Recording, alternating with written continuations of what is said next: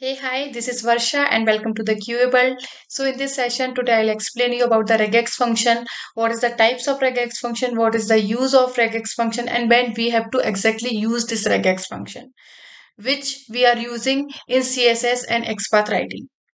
So I'll show you one demo with real-time example like how we can handle a dynamic web element using this different different regex function and for any single web element how we can write different types of regex function how we can use different regex function in css and xpath. So i'll show you the demo and uh, uh, we can also handle dynamic web elements using this regex function and it is very useful and very short trick writing xpath and css yeah, so I have prepared few slides for explaining this regex function basically, and these are the regex function in Selenium. So first, let's understand what is regex function. At the time the attribute value is too long, it will be a mess with the code. And we need to take unique text from the said attribute and need to generate a regular expression by using XPath. So basically, sometimes you have also saw like saw like uh, the class name, the class, the attribute of class, uh, the value of this attribute like too long, like around 40, 50 uh, characters or 40, 50 words.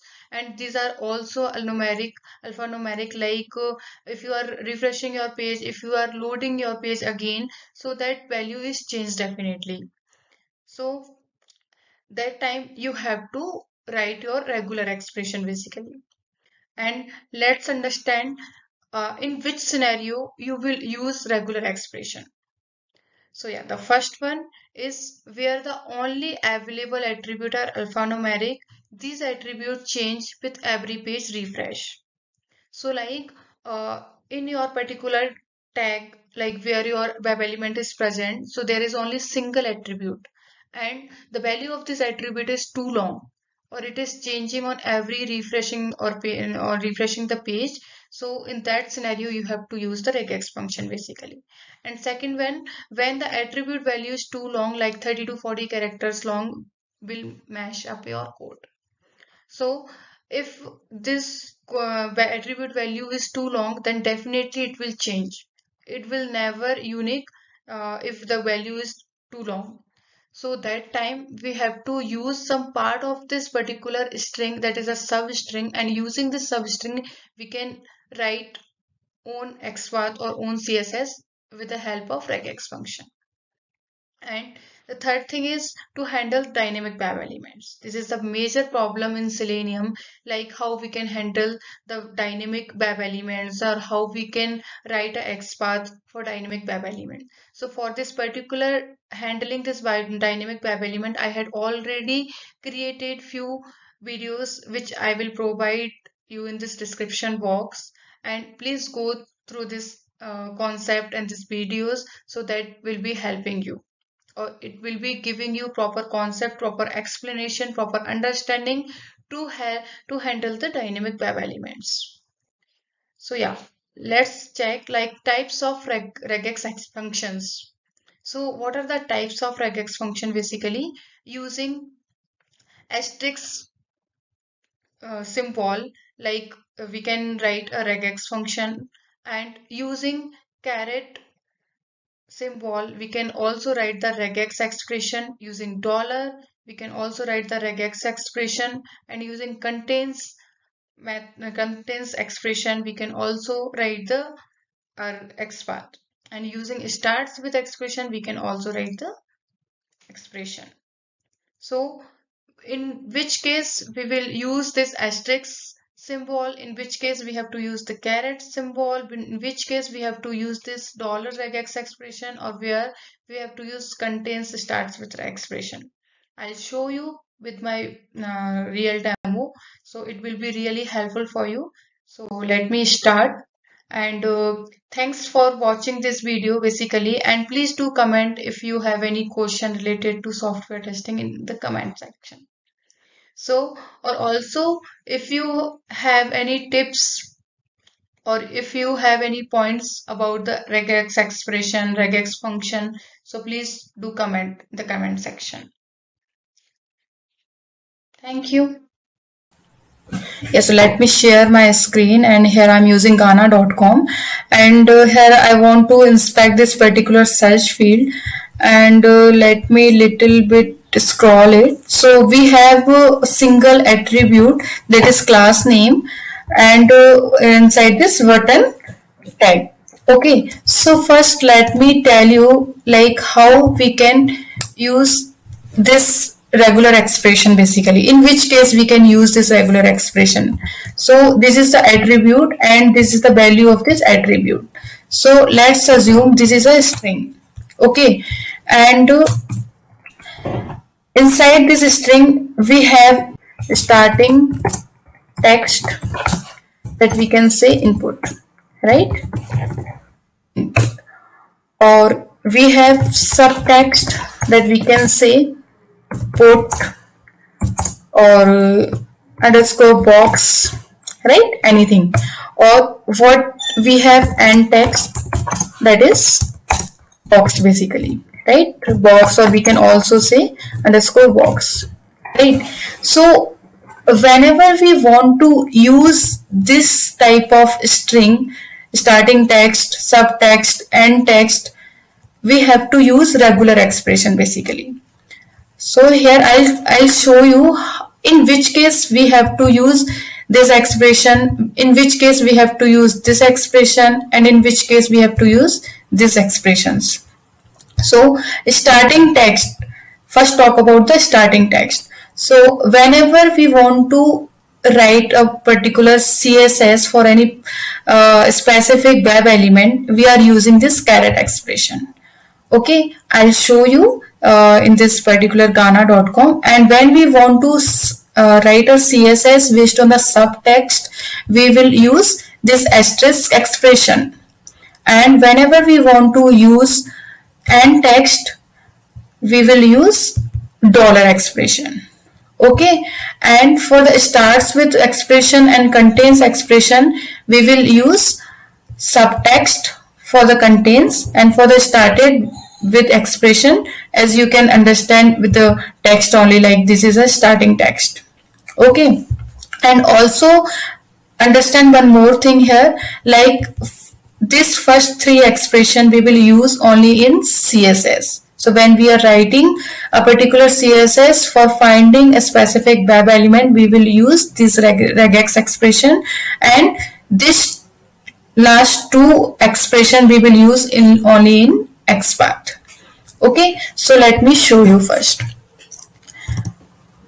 So this is my uh, web element. Let me click Control F and uh, here I am using CSS basically. So my tag name is button and opening square bracket. And my tag name is class and equal to and my attribute value is input. Okay so now this css is invalid but when i'm using regular expression. So this css will work so here i want to show you first starting text where i'm passing input value. So let me use here caret symbol. Okay? Here you can see one of one. So what this caret keyword does like it uh, what, what is the uh, what whatever string will start with this particular substring text this will uh, populate this particular web element. Let's assume if i uh, if i provide like input underscore it will also work because my string is started with input underscore. Okay? And uh, let me show you first let me copy this one and uh, paste it here. So you can also check later.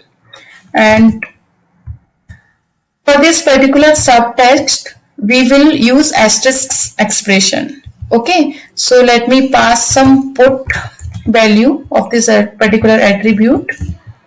And I'm just using asterisk symbol here. Yeah. So this is perfect matching for this particular web element like if I'm here I'm using subtext of this particular string and it will returning me one of one matching. Okay? So let me copy this one also and uh, I'm pasting here. Yeah.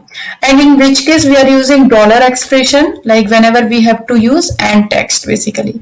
So let me just pass this underscore box like my string is ending with underscore box. And uh, this regex function is dollar. Yeah. So this will work for like my this particular string is end with this particular end text. And now let me show you also this one. Like I'm removing underscore. And my string is correctly ending with this box text. So that is also correct. Okay so here I'm showing you a single example with multiple regex expression like for this single search field how we can use multiple ways of writing regular expression while CSS or XPath writing. Okay, and uh, let me cover this starts with expression. So as I told this expression we will use for the XPath only. Yeah, so let me use start with expression. As I told we have to uh, use this method or this expression with XPath only okay so let me write down xpath with the starting double slash and my tag name is button and uh, I'm opening a square bracket and here I'm passing just my start with regex okay? And inside this method we have to pass our attribute name and the value of attribute. My attribute value is like my attribute values string is started with input okay? So you have to also uh, make sure like when you are using this start with x regex so you don't need to pass equal to basically you have to simply pass colon okay? As if I use equal to here my x path is incorrect okay? So you have to use simply colon. So yeah this is also giving me one of one like this is a perfect matching for this particular web element. So this way we can use starts with expression. Let me paste it here and here I'm using contains. So for the same particular web element I'm using contains method. Like how this contains method will work. So this contains method basically work for each substring. Like the input is also a particular substring for this string right? And if I I'll pass a simply put so this is this will also work. Because basically contains uh, when we are using this contains method like if our attribute value is too much long or like uh, it is uh, like some part of this uh, attribute values is changing for every refresh or every uh, loading page so that time we have to pass a particular substring which is unique for each time. Like whenever refreshing the page whenever uh, reloading the page so the particular substring is not changing but the end of a string and starting of this string is changing frequently. So that time we can use contains method. Yeah. So let me simply copy this contains x path here as well. Yeah so I hope this all five regex expression will help you and uh, it will also give you some unique picture of finding the particular web element on the web page. So I hope this will help you and uh, I'll show you one more thing tip of the day. What exactly the tip here? Like some whenever you are using CSS so sometimes might be you will be confusing about the tag names like which is my parent uh, tag which is my child tag. So that time you can simply pass this asterisk symbol. So it will identify uniquely like what which which tag uh, you are using uh, which having a, this particular attribute and the value of this attribute is like that. So as you can see this is also one of one. So this is the tip actually. If you are confusing with the tag names then you can use asterisk symbol basically. So it will work. This asterisk symbol will work in css and xpath both